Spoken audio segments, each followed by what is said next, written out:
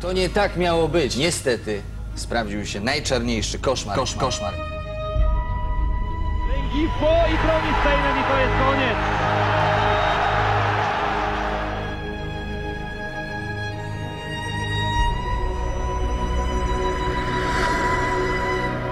też musi pokazać nieraz klasę i zdać sobie sprawę z tego, że jest czas, kiedy się trzeba też podać do dymisji.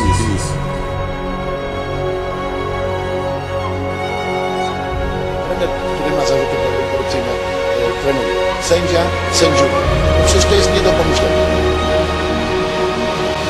To jedna wielka kompromitacja i to, że Dlaczego są równi i równiejsi? Zostało popełnione, panowie, przed rokiem przestępstwo. No, pieniądze są najważniejsze. Nieprzyznanie licencji nas po prostu nie ma. Promowanie dziadostwa sportowego. Czekajcie. To jest jakaś parodia. Decydują tylko kryteria układu, kto jest tylko kim. powinni odejść z polskiej piłki raz na zawsze.